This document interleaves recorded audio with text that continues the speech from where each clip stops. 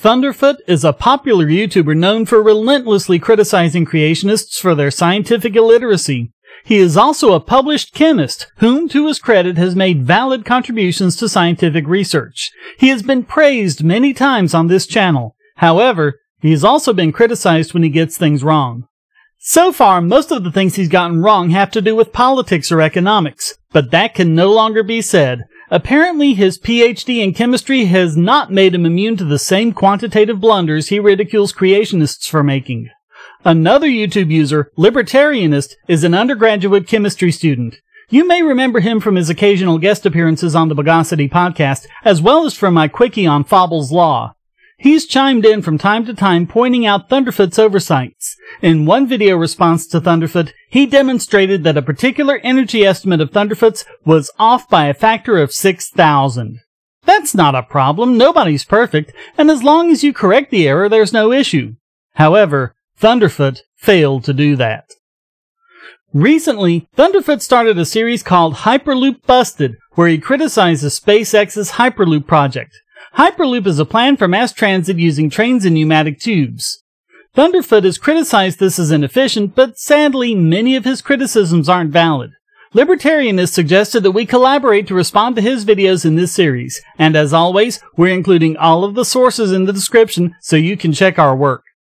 In the first video, Thunderfoot attacks the safety of the Hyperloop by arguing that it would expose its passengers to fatal accelerations in the event of a tube failure. This was just one of the cute demos I came up with of what a vacuum failure might look like on a tiny scale for the poor schmucks actually in the Hyperloop. Now, bear in mind, this is merely the acceleration that you can get off about 60 centimeters. That's about two feet of tube. The acceleration she would be likely to get in the event of tube failure on the real Hyperloop would quite literally be like being shot down a gun barrel. Thunderfoot attempts to demonstrate this with a model test by placing a metal ball in a glass tube containing a vacuum. He breaks the tube, applying atmospheric pressure behind the ball, accelerating it down the tube until it breaks through the other end. So this is what it looks like filmed at 1000 frames per second and as you can see there's really quite a formidable acceleration there. And bear in mind this is a tiny diameter tube over a short distance, about half a meter. If you had a tube failure on a 2 meter diameter tube, as with the Hyperloop, over a significant distance, it would quite literally be like being shot down a gun barrel with no way of stopping. There are many problems with this test. The biggest is that Thunderfoot incorrectly assumes that the acceleration would be greater on a larger scale when in fact acceleration would be much less. Thunderfoot has made a basic error of physics. He's forgotten that when you scale up, surface area becomes the square of the multiplier while volume becomes the cube. Every physics student knows this as the square cube law. To demonstrate this, let's consider a cylinder. We'll say its radius and its height are 1 meter. The drag this cylinder will make when moving in a straight line is the area of the circle that represents the cross section, which is pi r square. Since r is 1, that's pi square meters. The volume of the cylinder is pi r squared h, but again, since its radius and height are both 1 meter, that's pi cubic meters. Now we need to find out the mass of the cylinder. Mass equals volume times density. We know the volume, so to compute the mass, we need a density to work with. Let's just say that the density is 1 kilogram per cubic meter. We know that the volume is pi cubic meters, so in this case, the mass is pi kilograms. Mass, volume, and cross-section are all pi, although of course they're in different units. This will make it easier to see what happens when we scale up. So let's double its size. This will double both the radius and the height. So both of those become 2 meters.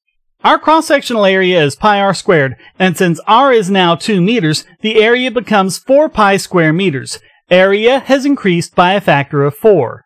But our volume is pi r squared h, and since r and h are both 2 meters now, that means that the volume is pi times 4 square meters times 2 meters, or 8 pi cubic meters. Which means that since our density is still 1 kilogram per cubic meter, the mass of the larger cylinder is 8 pi kilograms. In other words, we have 8 times the mass for only 4 times the surface area, which means that the air pressure will be pushing on the cylinder with 4 times the force. But since the mass has increased eightfold, acceleration will be lower, not greater as Thunderfoot claimed. Acceleration is force over mass. So although the force on the cylinder will be four times as big, since the mass is eight times as big, it will only yield half the acceleration. The more we scale it up, the bigger the difference it makes. At 10 times its original size, the area becomes 100 pi square meters, but the mass ends up being 1000 pi kilograms, and so we only get one tenth the acceleration. Thunderfoot completely failed to account for this. So how far off is Thunderfoot? What is the acceleration the Hyperloop would experience in such a scenario, and how does it compare to a bullet being shot out of a gun like he claims would be similar? First, let's calculate the acceleration experienced by the Hyperloop pod. The abstract published by SpaceX cites a figure of 4 square meters for the frontal area of the passenger plus vehicle capsule and an overall mass of 26,000 kilograms when fully loaded with fuel, passengers, and luggage. In Thunderfoot's scenario, one atmosphere of pressure would be exerted on the back of the pod. This would result in an acceleration of only 15.6 meters per second squared. This is less than what you'd feel riding a roller coaster and about half that experienced by a drag racer. In fact, it's just a bit less than 1.6 G, not anywhere close to what is experienced by fighter pilots. So, what's the acceleration of a bullet?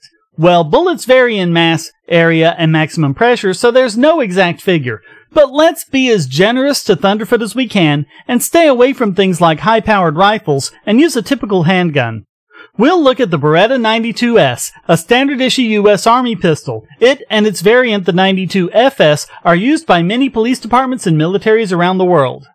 The ammo used by both the 92S and the 92FS is 9x19mm parabellum, which has an upward pressure limit of 241.32 megapascals, a diameter of 9.01 millimeters, and a mass of 7.5 grams. So a quick calculation gives us over 2 million meters per second squared. But when we're talking about guns, this isn't the whole story. Unlike a sudden increase in pressure, a bullet is pushed by the continuous burning of an accelerant. Our figure is the maximum acceleration it could experience, but being generous to Thunderfoot, we're going to assume that he was being analogous of the overall acceleration felt by a bullet as it travels down the barrel. To determine the acceleration of a bullet, we need both the gun's muzzle velocity and its barrel length. The equation is acceleration equals v squared over 2s, where v is the muzzle velocity and s is the barrel length. The 92S and the 92FS both have a muzzle velocity of 381 meters per second and 125 millimeter barrel length. The bullet's acceleration will therefore be over 580,000 meters per second squared. This is over 37,000 times greater than the Hyperloop would accelerate in the event of a tube failure. Thunderfoot is off by five orders of magnitude. Not only would this scenario be nowhere near a bullet being fired from a gun, the acceleration level passengers would experience is not only survivable, but commonly experienced with no ill effects whatsoever. And that's just in his first video, a short one intended to introduce the series. This doesn't bode well. So stay tuned. I'm sure Libertarianist and I will have more to say about this series. Until then, as always, stay strong and be free.